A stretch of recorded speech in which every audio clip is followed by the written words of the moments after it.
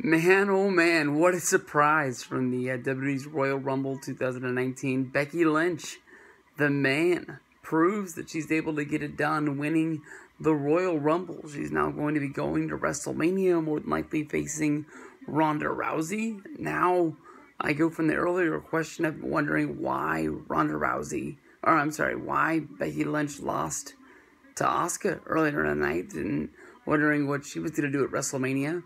Now I'm wondering what Charlotte's going to do at WrestleMania. I'm guessing that you could easily do the rematch from last year's WrestleMania Charlotte versus Asuka. Then we do Rousey versus Lynch. Um, I'm, I'm guessing that's the plan that there's going to be. I guess there's still hope of doing some sort of a three way between um, Charlotte, Becky, and uh, Ronda. Hopefully, finding some way to put sort of put them together um, to answer any questions about how Becky Lynch ended up getting into the WrestleMania, um, into the Royal Rumble to go to WrestleMania. Uh, Lana ended up drawing number 28, and she was injured earlier on the pre-show. Um, she ended up, um, you know, uh, hurting her ankle. Um, she was hobbling her way down to the ring, and uh, she wasn't going to make it. Uh, the next number ended up being called, which was Nia Jax. According to the old school rules, was that you didn't get in the ring within your two minutes, you were automatically eliminated.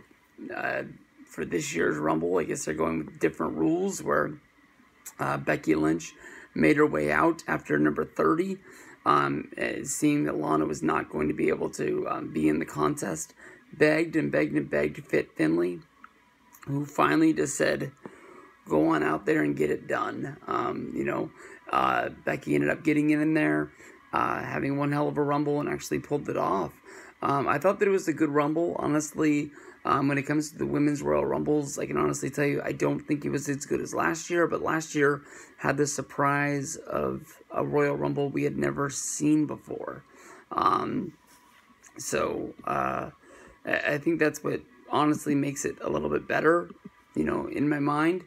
But, um, you know, this one to me, honestly, just had a whole lot of girls that I had no clue. There was girls from uh, the uh, Mae Young uh, tournament. There was girls from NXT. There was one girl that was on American Ninja Warrior. I don't even know if she's in WWE if she was just some sort of a celebrity um, contestant, but she had some moves. She was honestly was pretty good. She did one of the spots where she walked in her hands.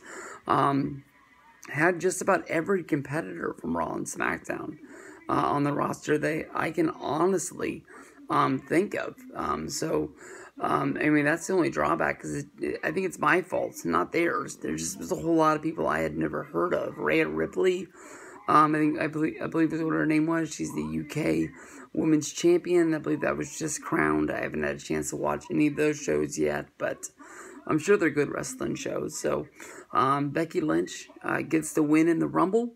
Pretty good moment.